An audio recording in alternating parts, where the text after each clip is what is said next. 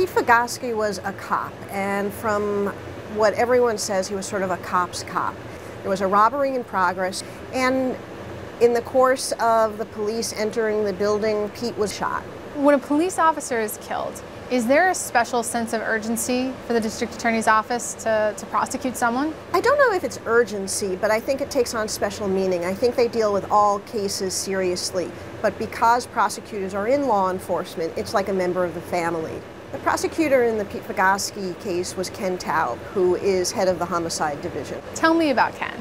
Ken is, you know, down to business, solid guy, and I think he approaches cases looking at them, you know, for evidence that there's sort of this mixed role of part prosecutor, part detective. How does Ken handle the ups and downs inherent in being a prosecutor? Well, what Ken says is he sort of separates himself. He just looks at the evidence and moves forward, and as he's preparing the case, he's really just driven on what the evidence is and what he's going to present. We had asked him, you know, how do you prepare for trial? And I guess he's been doing it so long that he's not one to stand in front of a mirror practicing his opening arguments. He says he doesn't even have notes.